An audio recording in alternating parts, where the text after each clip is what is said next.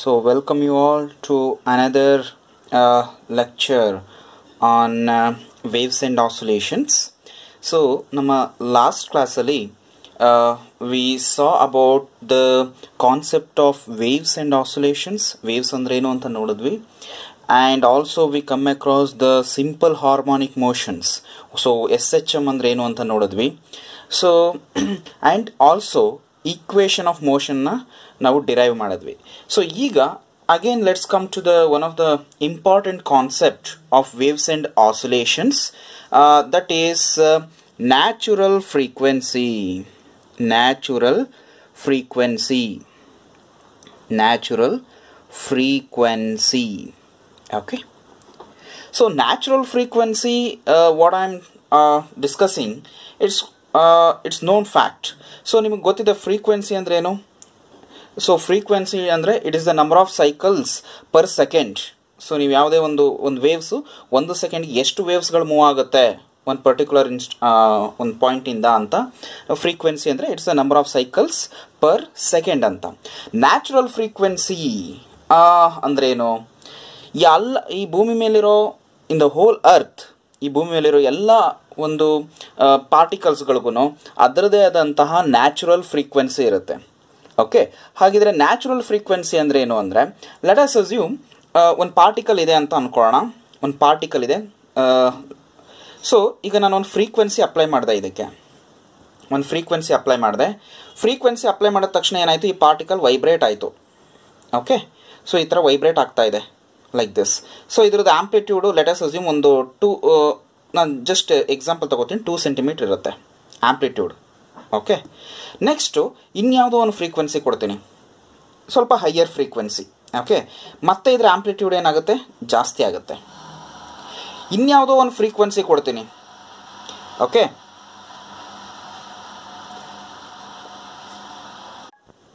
so maximum amplitude for example three ಸೆಂಟಿಮೀಟ್ರಲ್ಲಿ vibrate ಆಗುತ್ತೆ. ಮತ್ತಿನ್ನೊಂದು frequency ಕೊಟ್ಟೆ ಫೋರ್ ಸೆಂಟಿಮೀಟ್ರಲ್ಲಿ ವೈಬ್ರೇಟ್ ಆಗುತ್ತೆ. ಲೈಕ್ ದಿಸ್ ಜಾಸ್ತಿ ವೈಬ್ರೇಟ್ ಆಗೋಕ್ಕೆ ಸ್ಟಾರ್ಟ್ ಆಗುತ್ತೆ. ಮತ್ತು ಇನ್ನೊಂದು ಯಾವುದೋ ಹೈಯರ್ ಫ್ರೀಕ್ವೆನ್ಸಿ ಕೊಟ್ಟೆ ಹಾಗೆ ಮತ್ತೆ ನಿಮ್ಗೆ ಏನಾಗುತ್ತೆ? ಆಂಪ್ಲಿಟ್ಯೂಡ್ ಡಿಕ್ರೀಸ್ ಆಗ್ತಾ ಬರುತ್ತೆ. ಸೊ ಮತ್ತೆ ಕೊಟ್ಟ ಹಾಗೆ ನಿಮ್ಗೆ ಆಂಪ್ಲಿಟ್ಯೂಡ್ ಜಾಸ್ತಿ ಕಡಿಮೆ ಆಗ್ತಾ ಬರುತ್ತೆ. ಲೈಕ್ ದಿಸ್ ಓಕೆ ಸೊ ಈಗ ನ್ಯಾಚುರಲ್ ಫ್ರೀಕ್ವೆನ್ಸಿ ಅಂದ್ರೆ ಏನು ಅಂದರೆ, ಯಾವುದೇ ಒಂದು ಪಾರ್ಟಿಕಲ್ಗೆ if you consider any particle for certain frequency for certain frequency ಅದರ ಆಂಪ್ಲಿಟ್ಯೂಡ್ ಮ್ಯಾಕ್ಸಿಮಮ್ ಆಗುತ್ತೆ.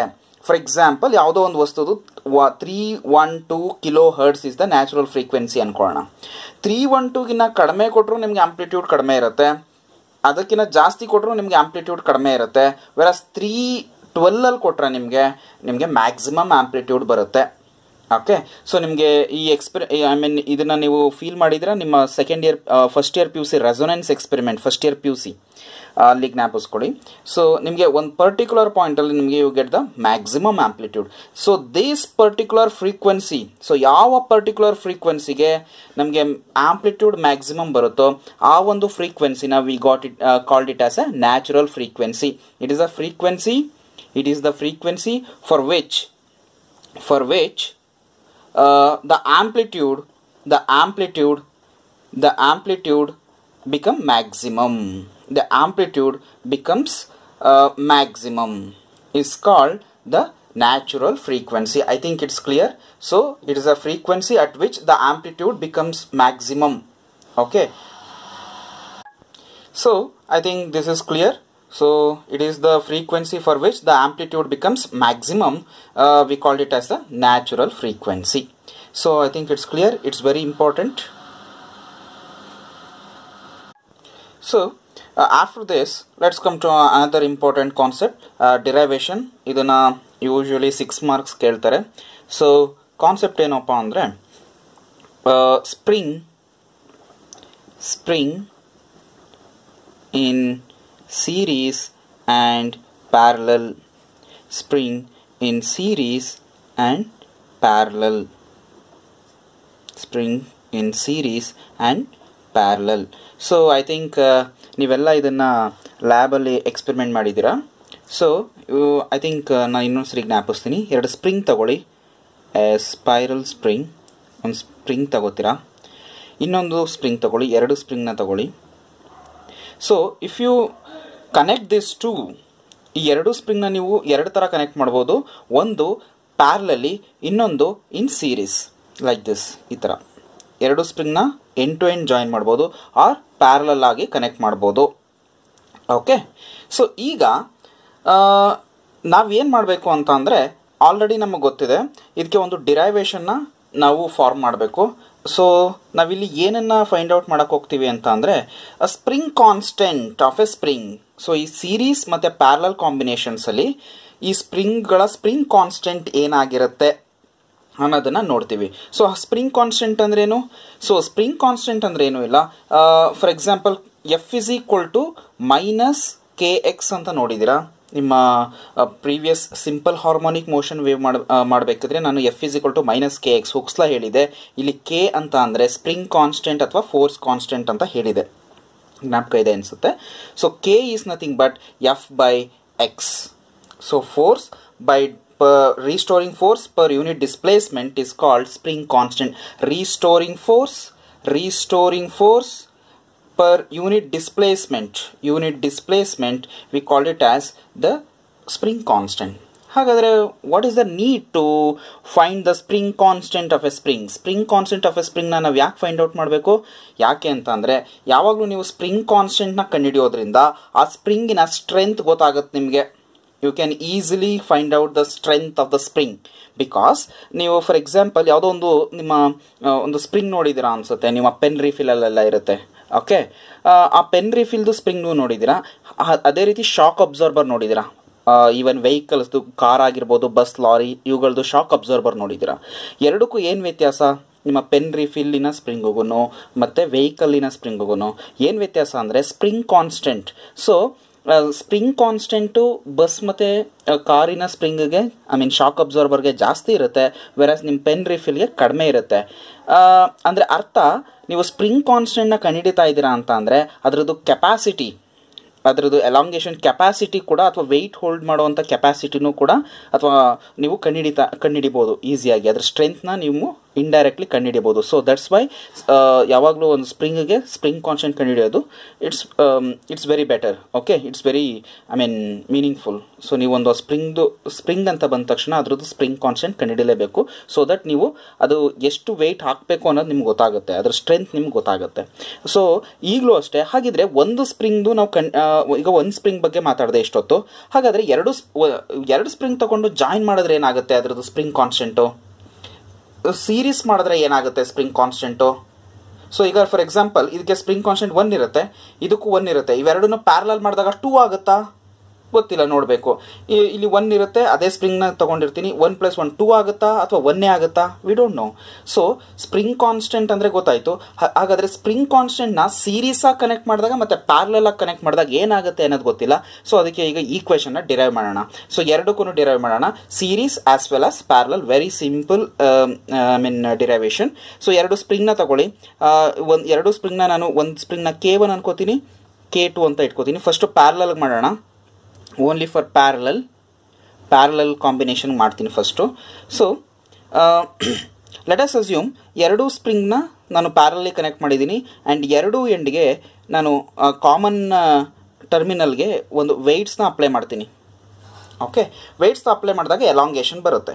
ಸೊ ಹಾಗಿದ್ರೆ ನಾನು ಬರಿಬೋದು ಯೂಶ್ವಲಿ ಇನ್ ಇನ್ ಪ್ಯಾರಲಲ್ ಈ ಎರಡೂ ಫೋರ್ಸ್ ಮೇಲೆ ಐ ಮೀನ್ ಎರಡೂ ಸ್ಪ್ರಿಂಗ್ ಮೇಲೆ ಏನು ಫೋರ್ಸ್ ಅಪ್ಲೈ ಟೋಟಲ್ ಫೋರ್ಸ್ ಏನು ಅಪ್ಲೈ ಆಗ್ತಾ ಇದೆಯಾ ಅಂದರೆ, ಈ ಈ ಈ ಪರ್ಟಿಕ್ಯುಲರ್ ವೆಯ್ಟ್ ಅಪ್ಲೈ ಮಾಡೋದ್ರಿಂದ ಇಲ್ಲಿ ಏನಾಗ್ತಾ ಇದೆ?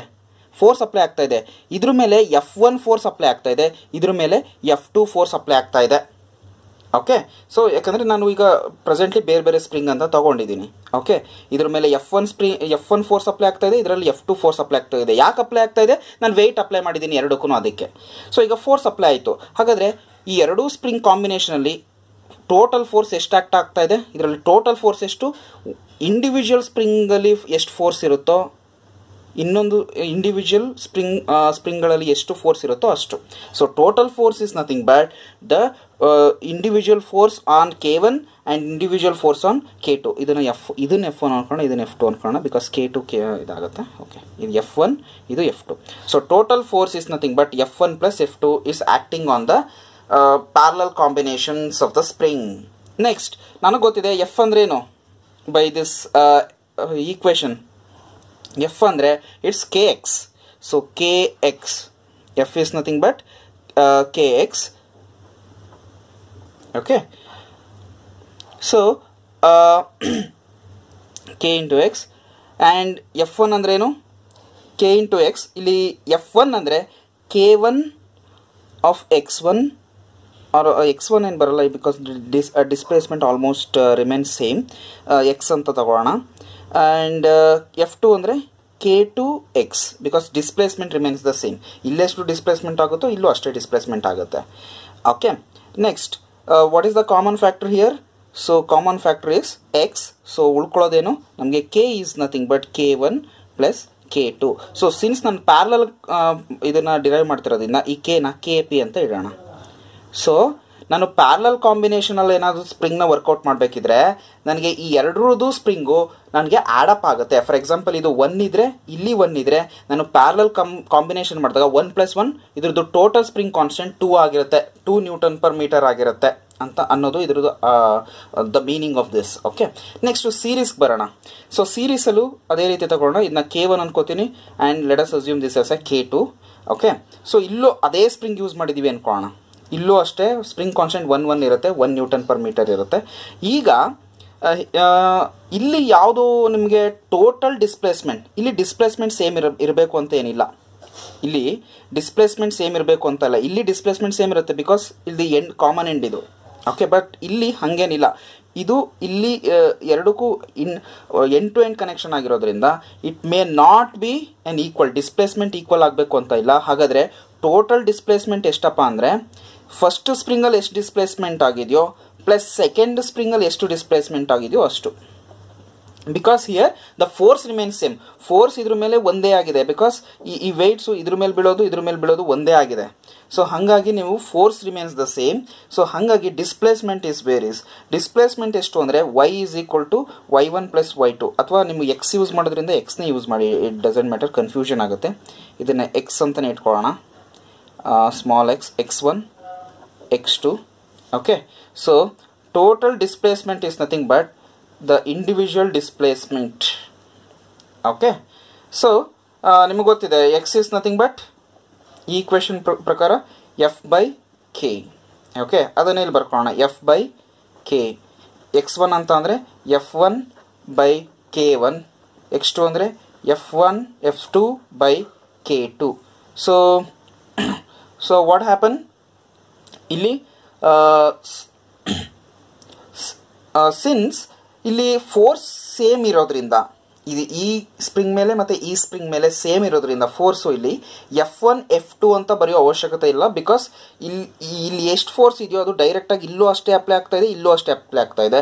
ಸೊ ಹಾಗಾಗಿ ನಾವು ಈಕ್ವೇಷನ್ ಹೇಗೆ ಬರಿಬೋದು ಅಂದರೆ F by K F one ಅಂತ ಏನೂ ಇರಲ್ಲ ಎಫ್ ಅಂತಲೇ ಬರ್ಕೋಬೋದು ಇಟ್ ಡಸಂಟ್ ಮ್ಯಾಟರ್ ಇಲ್ಲೂ ಅಷ್ಟೇ ಎಫ್ ಟು ಬದಲು ಎಫ್ ಅಂತ ಇರುತ್ತೆ. So that is K two so which is the common term obviously F so the term becomes one by one by K is equal to one by K one plus one by K two so ಇದು series ಕಾಂಬಿನೇಷನ್ಗಾಗಿರೋದ್ರಿಂದ K S so this is the equation for the spring in series so ಇನ್ನೊಂದು ಸರಿ ಹೇಳ್ತೀನಿ, ಏನಾದ್ರು doubts ಇದ್ದರೆ ಇಲ್ಲಿ force ನಮಗೆ ಇಲ್ಲಿ displacement same ಇರುತ್ತೆ ಫೋರ್ಸ್ ಬೇರೆ ಇರುತ್ತೆ ವೆರಸ್ ಇಲ್ಲಿ ನಮಗೆ ಫೋರ್ಸ್ ಒಂದೇ ಇರುತ್ತೆ ಡಿಸ್ಪ್ಲೇಸ್ಮೆಂಟ್ ಬೇರೆ ಇರುತ್ತೆ. ಹಾಗಾಗಿ ಇಲ್ಲಿ ನಾವು ಕಂಡೀಷನ್ ತೊಗೋಬೇಕಾದ್ರೆ ಸ್ವಲ್ಪ ಹುಷಾರಾಗಿರಬೇಕು.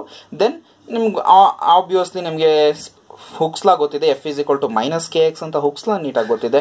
ಸೊ ಆ ಬೇಸಿಸ್ ಮೇಲೆ ಇದನ್ನು ಮಾಡ್ಕೊಂಡು ಹೋದ್ರಾಯಿತು. ಸೊ ನಿಮಗೆ ಕೆ ಪಿ ಅಂದರೆ K one plus K two ಬರುತ್ತೆ. ಇಲ್ಲಿ one by K S is equal to one by K one plus one by K two so ಇದು ನೋಡ್ತಾ ಇದ್ರೆ ಗೊತ್ತಾಗುತ್ತೆ ನಿಮಗೆ. ಆಬ್ವಿಯಸ್ಲಿ ಸೀರೀಸ್ ಆಗಿ ನೀವು ಎರಡು ಸ್ಪ್ರಿಂಗ್ನ ಕನೆಕ್ಟ್ ಮಾಡಿದ್ರೆ ಸೀರೀಸಲ್ಲಿ ನೀವು ಎರಡು ಸ್ಪ್ರಿಂಗ್ನ ಕನೆಕ್ಟ್ ಮಾಡಿದ್ರೆ, ಇಲ್ಲೇ ನಿಮ್ಗೆ ಗೊತ್ತಾಗ್ತಾ ಇದೆ, ನಮಗೆ ಸ್ಪ್ರಿಂಗ್ ಕಾನ್ಸ್ಟೆಂಟ್ ಕಡಿಮೆ ಆಗುತ್ತೆ ಇರೋದಕ್ಕಿಂತ ಕಡಿಮೆ ಆಗುತ್ತೆ. So that is the meaning of this spring spring in series and parallel ನೀವು ಎರಡು ಸ್ಪ್ರಿಂಗ್ನ ಪ್ಯಾರಲಲ್ಲ ಕನೆಕ್ಟ್ ಮಾಡಿದಾಗ ನಿಮಗೆ ಸ್ಪ್ರಿಂಗ್ ಕಾನ್ಸ್ಟೆಂಟ್ ಜಾಸ್ತಿ ಇರುತ್ತೆ rather than the series so this is about the concept thank you